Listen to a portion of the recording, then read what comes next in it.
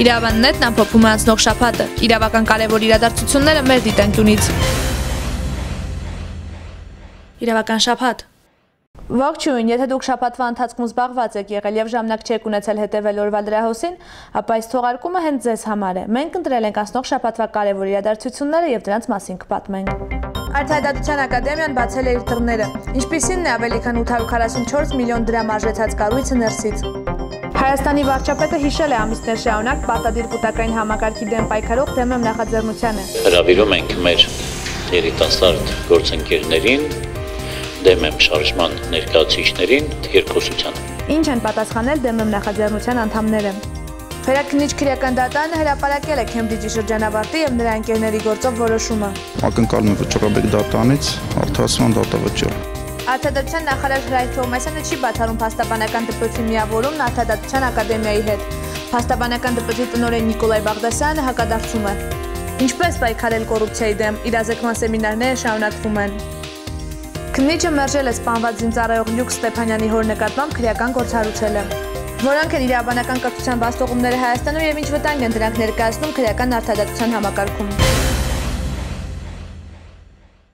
Երևանում կայացել է Արտադրության ակադեմիայի շենքի բացումը։ Այն ստեղծվել է դատական դպրոցի եւ դատախազական դպրոցի միավորման արդյունքում։ Այսուհետև դատավոր կամ դատախազ դառնալու համար պարտադիր պետք է մասնագիտապես պատրաստվել Արտադրության ակադեմիայում։ Դատաիրավական բարեփոխումների շրջանակներում ստեղծված այս կառույցը արդեն բացել է իր դռները։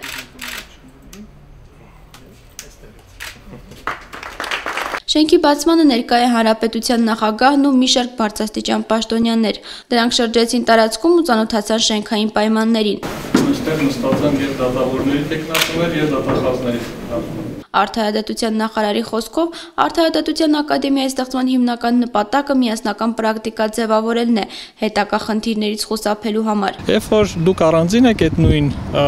դասը կարդում, ես առանձին եմ կարդում, չի բացառում, որ մենք տարբեր կերպ դրանք ընկալենք կամ մեզ սովորեցնողները տարբեր կերպ դրանք ներկայացնեն։ Բայց միտեղ մեր շահերը բախվում են, մեր ճանապարհները բախվում են, դա դատարանում է։ Մինչ դատանում հանդիպել են նախապակա դատավորներն ու դատախազները 8.5 ամիսների ընթացքում պետք է յուրացնեն դասավանդված ստեղծվող 30 առարկաները parberabar քնություն հանձեն, ապա նոր համարվեն մասնագիտական պատրաստումն անցած։ Ստրեսի կառավարում, ներազման հոգեբանություն, հաղորդակցության եւ բանակցության հմտություններ։ Սրանք այն հարակից առարկաներից են, որոնք մասնագիտական առարկաներից բացի դասավանդվելու են։ Շատ հետաքրքրել է հոգեբանական բնույթի դասընթացները, որը անհրաժեշտ է իհարկե թե դատավորի, թե դատախազի պաշտոնը ստանձնելու համար։ Հարակից առարկաները հետաքրքիր են, սակայն մեծ ուշադրությամբ են ընտրվել մասնագիտական առարկաները։ Կարևոր խնդիր է եղել չկրկնել համասանական ծրագրերը։ Արդարադատության ակադեմիայի ռեկտոր Ռուբեն Մելիքյանի կարծիքով դա նրանց հաջողվել է։ Այդ գործում միջազգային կառույցների աջակցությունը եւս մեծ է եղել։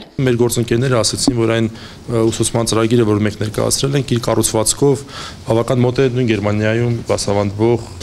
կուրսերին։ Ապակա դատավորներին ու դատախազներին միասին կրթելու արդյունքում հետագայում արդարադատությունը չի կարող տուժել։ Այս տեսակետը բացառում է ապակա դատավոր Արթուր Ստեփան Օհանյանը։ Եթե յուրաքանչյուր մարդ պրոֆեսիոնալ է, իր աշխատանքը լավ գիտի, կապ չունի միասին են ուսուցանում, թե չէ, որտեղ նույն հաջողությամբ կարող է նույն բուհում են իրենք սովորել նույն ֆակուլտետում, իսկ դա չպետք է խնդիր առաջացնի միասին հետագայում աշխատելու։ Բացի ապակա դատավորներից ու դատախազներից ակադեմիայում վերապատրաստվելու են նաև գործող դատավորներն ու դատախազները։ Նրանց համար հատկացվել է տարեկան 80 դասաժամ։ Սա այն սենյակներից է, որտեղ այդ ընթացքում հարկ եղած դեպքում գիշերելու են։ Ավելի քան 844 միլիոն դրամ արժեցած այս շենքը կազ կազմը պատրաստ է ուսումնական գործընթացին։ Այս տարվա համար պետական բյուջեն 300 միլիոն դրամ է նախատեսել ակադեմիայի համար, չհաշված դատավորների եւ դատախազների տեխնատուների ցուցակում ընդգրկված անձանց կրթաթոշակները։ Ամեն ինչ արված է կրթության բարձր մակարդակ ապահովելու համար, այսքանից հետո մնում է միայն իրական արդարադատություն իրականացնել։ Այս շաբաթ կառավարության նիստի ժամանակ վարչապետ Տիգրան Սարգսյանը ուղերձ է եղել դեմն նախաձեռնության ներկայացուցիչներին։ Մենք պատրաստ ենք երկխոսության եւ ընդունում ենք, որ մեր օրենքները մանավանդ ամենաբարդ ռեֆորմին վերաբերող օրենքները չեն կարող լինել առանց թերությունների։ Բնականաբար այդ օրենքներում կան թերություններ, որոնց վրա մատնանշում են նաև մեր ընդդիմախոսները մենք հայտարարում ենք, որ ճիշտ ճանապարհը դա երկխոսության ճանապարհն է եւ հրավիրում ենք մեր երիտասարդ գործընկերներին դեմ եմ շարժման ներկայացուցիչներին այդ երկխոսությանը Դեմեմ շարժումը պատասխանել է վարչապետի հայտարարությանը։ Ողջունելով վարչապետի երկխոսության առաջարկը հաստատակամ ենք, որ մեր պայքար շարունակվելու է այնքան, մինչև իսպար վերածվի օրենքից պարտադիր բաղադրիչը, անկախ նրանից դա կլինի ՍԴ-ի որոշմամբ թե առանց դրա, քանի որ օրենքը բացի իրավական հարթությունից նաև սոցիալական հարթության մեջ է, ինչը ոչ պակաս կարևոր է։ Այն հակասոցիալական ու անմարդկային է, երբ կլինի հստակ հաղորդագրություն այն մասին, որ կա պատրաստակամություն պարտադիր բաղադրիչ օրենքից վերացնելու եւ կա ցանկություն երկխոսության օրենքի նոր տարբերակի շուրջ առանց պարտադիր բաղադրիչի, մենք պատրաստ կլինենք գնալ երկխոսության, նշելով, որ ամբողջ հանրությունը պիտի այդ լայն քննարկման որոշման կայացման մասնակիցը լինի։ Նշենք, որ տեմեմ քաղաքացիական նախաձեռնությունը մարտի 22-ին ժամը 14:00-ին բոլորին հրավիրում է ազատության հրապարակ մասնակցելու հավաք երթի ընդեմ կൂട്ടական կենսաթոշակների մասին ՀՀ օրենքի։ Քեմբրիջի շրջանավարտի եւ նրա ընկերների հայտնի գործով վերաքնիչ քրեական դատարանը հրապարակել է որոշումը։ Երիտասարդները պատրաստվում են բողոքարկել վճռաբեկ դատարան։ Արդարացման դատավճռի ակնկալիքը չարթարացավ։ Վերաքնիչ քրեական դատարանը հրապարակեց Քեմբրիջի շրջանավարտի եւ նրա ընկերների գործով որոշումը։ Խոտի դեզարելու փորձի եւ խուլիգանության համար կայացված մեղադրական դատավճռում գրեթե ոչինչ չփոխվեց, բացի մի կետից։ Խուլիգանություն կատարելու համար ազատազրկման ձևով նշանակված պատիժը փոխարինվեց տուգանքով։ Իհարկե երիտասարդ երիտասարդները դա չեն վճարի, նրանց նկատմամբ համաներում է կիրառվել։ Որոշումը կարող է բողոքարկվել Հայաստանի Հանրապետության Ճրաբեկ դատարան հրապարակման պայս մեկամսյա ժամկետում։ Նախագահ Տատավոր Պետրոսյան, դատավորներ Սահան Բարսման, Լեթ Հադևոսյան։ Օրենքով սահմանված կարգով ժամկետում սույն որոշումը կուղարկվի դատավարության մասնակիցների ստեցությունից դատականից հայտարարն ավարտված։ Ուշագրավ է մինչև որոշում կայացնելը վերաքնիչ քրեական դատարանում Արամ Մուղալյանի քնիչին տված բացատրությունը ճանաչվեց որպես ապացույց, իսկ ուժողի եւ 4 վկաների բացատրությունները ոչ։ Անվաստանյալ Արամ Մուղալյանի պաշտպան Վահե Գաբրելյանը միջնորդեց բացատրությունը անթույլատրելի ապացույց ճանաչել։ Ըստ նրա ոստիկանության բաժնում չեն բացատրվել իր պաշտպանյալի իրավունքներն ու պարտականությունները։ Մեղադրող դատախազ Արսեն Աղաբեկյանը պնդեց, բանավոր բացատրվել են։ Դատանը մերժեց այդ միջնորդությունը, սակայն բավարարեց դեպքի վայրի զնությունների արձանագրություններն ամբողջությամբ հրապարակելու միջնորդությունը։ Երիտասարդներին դատանի որոշումը չի ուսալիքել։ Արամ Ուղալյանը հայտնեց դիմելու են վճռաբեկ դատարան։ Ես ակնկալում եմ վճռաբեկ դատարանից արդարացման դատավճիռ։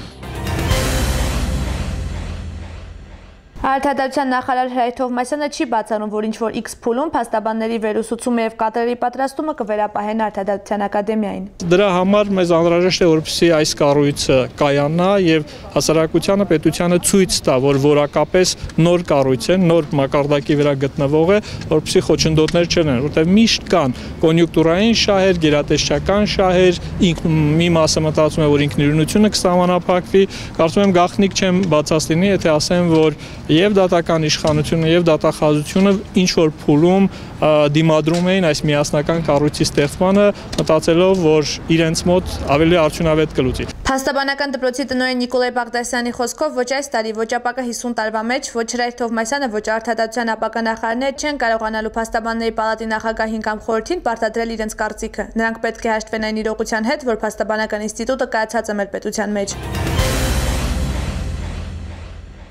Հայաստանի երիտասարդիաբանների ասոցիացիան գործընկեր կազմակերպության ինֆորմացիայի ազատության կենտրոնի հետ համատեղ շարունակում է մարզերում իրազեկել կոռուպցիայի դեմ պայքարի բազմակողմանի խթանում ծրագրի մասին։ Այս անգամ նրանք եղել են Կապանում։ Կոռուպցիայի դեմ պայքարը պետք է լինի բազմակողմանի ու բազմավեկտոր։ Հայաստանի երիտասարդ իրավաբանների ասոցիացիան գործընկեր կազմակերպության ինֆորմացիա ազատության կենտրոնի հետ համատեղ շարունակում է մարզերում իրազեկել կոռուպցիայի դեմ պայքարի բազմակողմանի խթանում ծրագրի մասին։ Այս անգամ սեմինար էր կազմակերպվել Սյունիքի եւ Վայոց մարզերի քաղաքացիական հասարակության ներկայացուցիչների եւ ԶԼՄ-ների համար։ Հենց նրանց աջակցությունն է անհրաժեշտ կոռուպցիայի դեմ արդյունավետ պայքարելու համար։ Ծրագրի շրջանակներում նախատեսվում է անցկացնել հակակոռուպցիոն ուսուցում ուսուցումներ քաղաքացիական հասարակության կազմակերպությունների եւ զանգվածային լրատվության միջոցների համար, ապա ուսուցում անցածներին տրամադրել փոքր դրամաշնորհներ մոնիտորինգի, լրագրողական հետաքննական ծրագրերի իրականացման համար։ Դրամաշնորհների տրամադրումը բաղկացած է լինելու 4 փուլերից։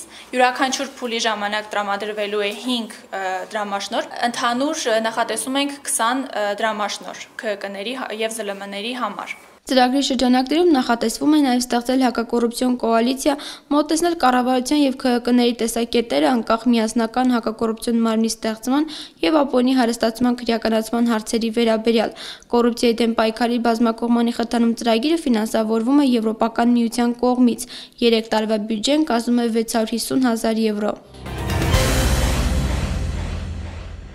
Ոստիկանության Իջևանի բաժնի հետաքննիչը մերժել է սպանված զինծառայող Լյուկ Ստեփանյանի հոր նկատմամբ քրեական գործ հարուցելու միջնորդությունը։ Քրեական գործ հարուցելու պահանջով ոստիկանություն հաղորդում էր ներկայացրել ամբաստանյալ Դավիթ Խաչատրյանի պաշտպան Երեմ Սարգսյանը հիշատակելով նիստից մեկի ժամանակ տեղի ունեցած վիճաբանության միջադեպը։ Ըստ պաշտպանի ուժող կողմը խոչընդոտում է արդարադատության իրականացմանը։ Երեմ Սարգսյանը նշել է, որ որոշումը չի բողոքարկելու, քանի որ իրենց նպատակը ոչ թե այդ անձանց քրեական պատասխանատվության ենթարկելն է, այլ նրանց բոլորին ի վերջո հասկացնել է, որ այդպիսի վարկագիծ անթույլատրելի է։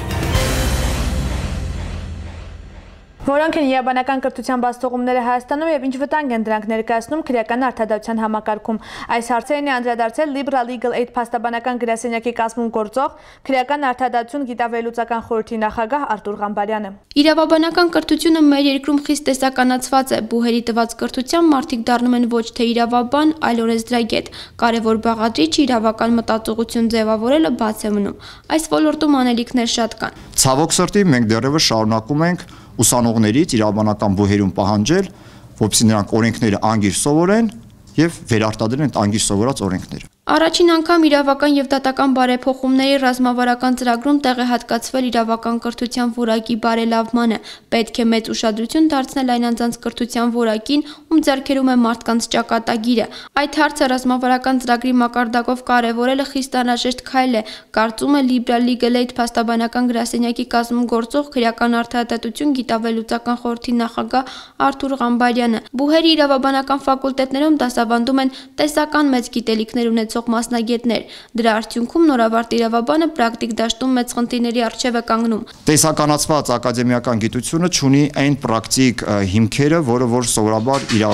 իրավաբանին, պրակտիկ իրավաբանին պետք է։ Եթե Արդարադատության ակադեմիան կարողանա քննարկել պրակտիկ հիմնախնդիրները ապագա մասնագետների հետ եւ հասնել խնդիրների ճշմարտացի լուծմանը, ապահովելով օրենքի միատեսակ կիրառություն, հիանալի կլինի։ Մասնագետի պրակտիկ դիտարկումները ցույց են տվել այն սեմինարները, որոնց ներկա են դատավորներ, դատախազներ, քննիչներ ու փաստաբաններ, շատ արդյունավետ է լինում, սակայն հերանեկարային չէ փաստաբանների մասնագիտական ուսուցումն ու վերապատրաստումը Արդարադատության ակադեմիային վերապահելը։ Դա կուներար դրական նշանակություն մի առումով, որ իմ ասած դատախազ, փաստաբան, դատավոր այդ այդ կտրվածքով ինքը կունենար դրական նշանակություն համաձայն է, բայց երբ որ մենք խոսք ունենք պետություն, քաղաքացիական հասարակություն, տիրույթների տարանջատման կտրվածքով, կարծում եմ, այստեղ փաստաբանական ինստիտուտը պետք է ունենա իր ինքնակառավարման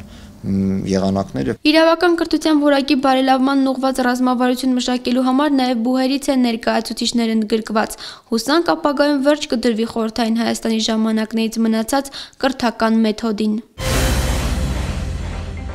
Ահա այն ինչ առանձնացրել է իրավական շաբաթը ձեզ համար։ Իրացրեք իրազեկ լինելու ձեր իրավունքը կհանդիպենք մյուս շաբաթ։